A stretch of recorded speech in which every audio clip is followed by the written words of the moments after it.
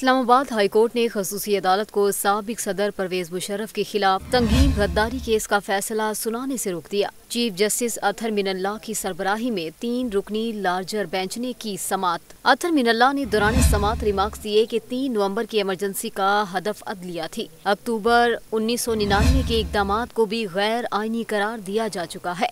हुकूमत इस हवाले से अलग शिकायत दाखिल क्यों नहीं कराती? जस्टिस आमिर फारूक ने एडिशनल अटॉर्नी जनरल से इस्तफसार करते हुए कहा कि आप दरख्वास्त में कह रहे हैं कि ट्रायल के लिए खसूसी अदालत की तश्कील दुरुस्त नहीं थी, जबकि आप दलाइल से बता रहे हैं ऐसा नहीं है तो फिर आपकी दरख्वास्त ही दुरुस्त नहीं है। जस्टिस मोहसिन अख्तर कानी ने रिमार्क्स दिए कि आपको इतने साल बाद अब मालूम हुआ है कि विफाकी हुकूमत की शिकायत दुरुस्त नहीं है। जाए जाकर बयान दें कि हम परवेज मुशर्रफ के खिलाफ दरख्वास्त वापस ले रहे हैं। आप अदालत में क्यों आए?